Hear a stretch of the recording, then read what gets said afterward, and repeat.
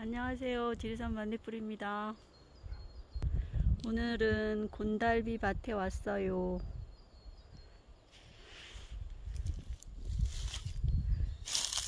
자, 여기에 보면은 이렇게 곤달비는 곰치보다는 향이 조금 연하답니다. 이렇게 손으로 뚝뚝. 지금 한참 연하고 쌈으로 드시면 너무 맛있어요.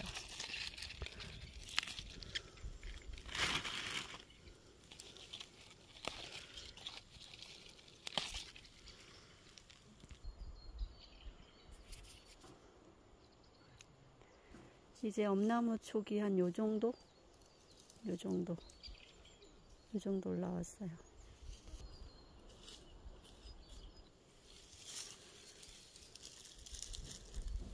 머리가 요 정도 입이 됐는데 지금 얘도 한 요 정도 된 이걸 가지고 김치 담아 먹으면 정말 맛있어요.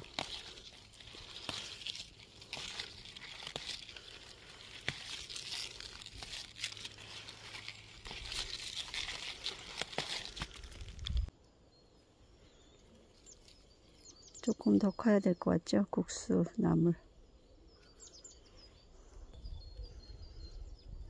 새 혓바닥처럼 나왔죠? 이럴 때 너무 예뻐요.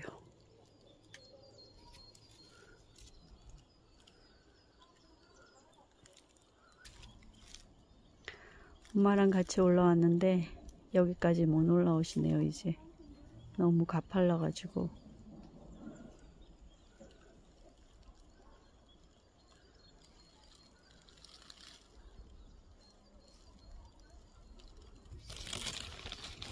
오늘은 이렇게 수확을 했습니다.